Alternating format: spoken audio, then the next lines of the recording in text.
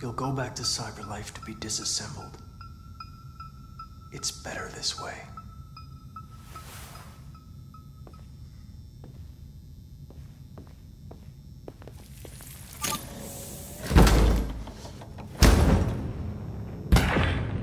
What the fuck is it It's doing? destroying itself.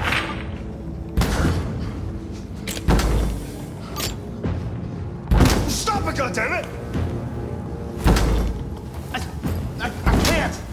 I, I can't stop it! That's enough.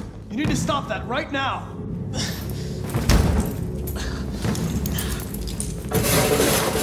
Watch out!